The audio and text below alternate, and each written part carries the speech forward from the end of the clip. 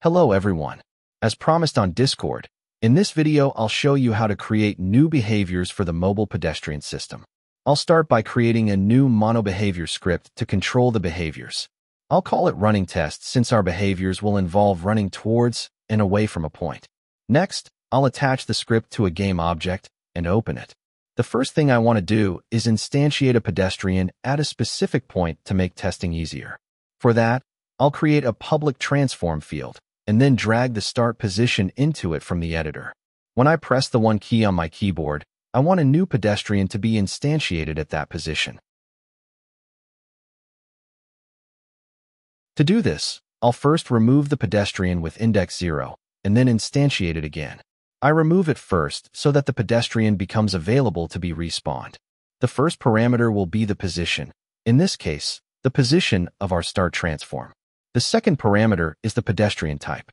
Since we don't need a callback here, I'll just pass null. Now, let's create that start game object in the scene, place it where we want, and drag it into our script field. We're ready to test. When I press 1 on the keyboard, the pedestrian spawns near the start game object exactly as expected. Now it's time to create our first behavior. I'll create a new script and call it run towards point. When creating a new behavior, it's mandatory to extend the pedestrian behavior class. At first, you'll see an error. To fix this, simply right-click on the class name and choose Implement Abstract Class. For more details about what the execute and onDestroy methods do, please check the documentation. Next, I'll make a simple run behavior. For this, I'll set up a float variable to define the running speed. For now, I'll initialize it with a value of 1. A speed of 1 means running, while a speed of 0.5 means walking. To actually make the pedestrian walk or run, just call the freeWalk method with the speed variable as a parameter. Let's test this and see if it works. I'll start the newly created behavior by pressing the 2 key on the keyboard.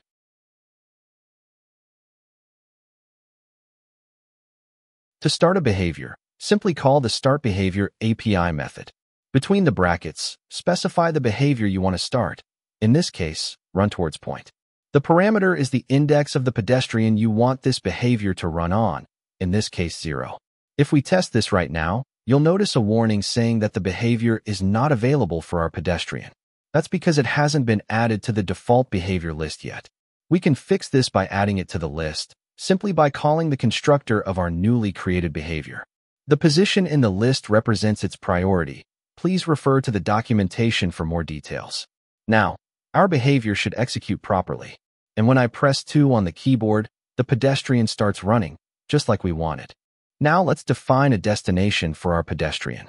For that, I'll create an empty game object and place it somewhere in the scene. In the run towards point script, I'll add a method called setParams so we can pass the destination and running speed as parameters instead of hard-coding them. The first parameter will be the running speed, and the second will be a vector 3 representing the destination position. Inside the method, I'll set the global running speed from the parameter, and for the destination, I'll use the API method that sets the pedestrian's destination to the closest waypoint near that vector 3 position. This automatically uses pathfinding and generates the full path for the pedestrian towards the destination. Now, in most cases, when a pedestrian reaches a destination, you'll want to trigger some kind of action. To check when the destination is reached, we can use the onDestinationReached event. Right-click to create the event handler. For now, I'll just add a simple debug message. When working with events, always remember to unsubscribe from them inside the onDestroy method. Next, Let's call our setParams method and pass in custom parameters for speed and destination. To do that, we'll use the get pedestrian behavior of type API method. Inside the brackets, specify the behavior you want. In our case, run towards point. Also provide the pedestrian index as the method parameter. Since this method returns an object of the base type pedestrian behavior, we'll need to cast it to our run towards point type to be able to access the setParams method we just created. Now we can pass in the speed and destination.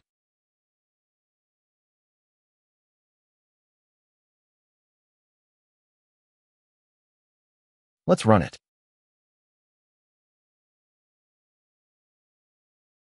Oh, looks like I forgot to assign the destination game object in the script.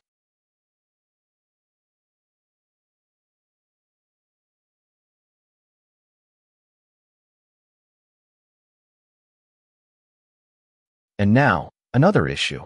It says pathfinding is not enabled. To enable it, just open the settings window, tick the checkbox for enable pathfinding, and press apply settings. Alright, third time's the charm, and indeed, it works. The pedestrian starts running, following the newly generated path towards the destination. And once it reaches it, the destination reached debug message shows up in the console. Now it's time to create the other behavior for this video, run away from point. For that, I'll create a new script called run away from point and open it.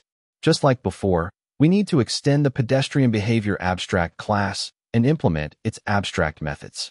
Since the pedestrian still needs to run, the initial setup will look almost identical to the previous behavior. We'll create a float variable for the run speed and a vector3 variable for the point to run away from. Next, I'll add a setparams method to initialize these variables. Inside the execute method, let's make the pedestrian move using the running speed. I want this new behavior to start when I press the 3 key on my keyboard. When that happens, we'll start the run away from point behavior using the start behavior API method. The last step is to add this new behavior to the default behavior list. Now we're ready to test. To confirm that the behavior is active, I'll enable Debug Pedestrian AI from the Settings window. When I press 3, the behavior does change, but the pedestrian stops moving. That's because the run speed is still set to 0. I forgot to call the setparams method to initialize the run speed value. Let's fix that now. As in the previous example, We'll use the get pedestrian behavior of type API method, cast it to our current behavior, then call setparams. For testing, I'll set the run speed to 1, and as the run from point, I'll use the same destination object we created earlier. If we run it now, the pedestrian starts moving as expected. Next, let's make sure they actually run away from that destination object. The first thing we need to do is make the pedestrian ignore the waypoints that come from the system and instead use the waypoints provided by this behavior inside the onBecomeActive method. For that, I'll create a reference to the pedestrian class and initialize it inside onBecomeActive. Then, I'll set the hasExternalWaypointSelection method property to true. This tells the pedestrian to stop navigating with the system-generated waypoints. When the behavior stops, inside onBecomeInactive, we need to give control back to the system. So, we'll set the has external waypoint selection method property back to false. I'll also add a safety check to make sure the pedestrian script is not null, since behaviors always start as inactive. To better understand what this property does, let's test it now. As you can see, when the property is set to true, the pedestrian no longer moves to the next waypoint and will just keep circling around the same one. To know when a new waypoint needs to be assigned, we need to subscribe to the onCustom Waypoint Requested event. I'll create a method called requestWaypoint as the event handler. Just right-click and let the IDE generate the method definition. In order to work with waypoints, we also need references to the Pedestrian Waypoint Manager and the Pedestrian Waypoints Data Handler. Now, let's create a new method that will return the index of the next waypoint for our pedestrian. I'll call it getNewWaypointIndex. This method will require three parameters. The current waypoint index, the pedestrian index that made the request, and the pedestrian type, so that the proposed waypoints allow passing for that specific type. Let's pass those parameters. The current waypoint can be retrieved using the get current waypoint index from path method from the waypoint manager, passing in the pedestrian index. The second parameter is simply the pedestrian index, and the third parameter is the pedestrian type, which we can access from the type property. For now, let's assume that get new waypoint index returns a waypoint. the first thing we need to do is verify that the returned waypoint is valid. We can do this by comparing the index with the invalid waypoint index. If the waypoint is valid, we add it to the path by calling add waypoint to path, passing in the pedestrian index and the waypoint index as parameters. After that, we call change waypoint for the pedestrian index to notify the pedestrian that its path has been updated. That's all we need for adding custom waypoints to the pedestrian. Now, let's focus on how to select waypoints that are far away from a specified destination. First, we create an integer list with all the possible waypoints that can be reached from the current one. If there are no possible waypoints, we simply return the invalid waypoint index. If waypoints are available, we need to select the one that is the furthest away from our stored point. For example, in this case, the pedestrian can move in three directions. We need to choose the waypoint that is farthest from our target object. Here, that would be the yellow one. In the code, we start by initializing the maximum distance with zero. We also create a variable to store the selected waypoint index. Next, we loop through all possible waypoint indexes. For each one, we get the position by calling the getWaypointFromIndex API method. We then compute the squared magnitude between the waypoint position and the point we want to run away from. If the distance is greater than the current maximum, we update both the maximum distance and the selected waypoint index. At the end of the loop, we return the waypoint index that is furthest away. Now let's test this. Our destination game object is at the top, so the pedestrian should always run away from it when I press the 3 key. Hmm, this looks strange. It seems I forgot to initialize the waypoint manager and the pedestrian waypoints data handler.